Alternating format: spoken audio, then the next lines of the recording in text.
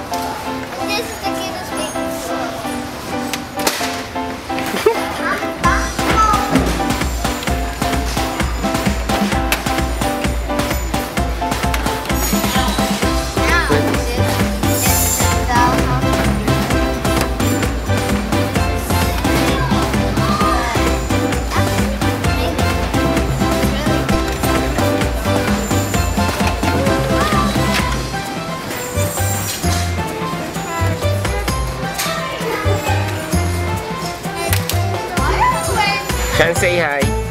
Shan.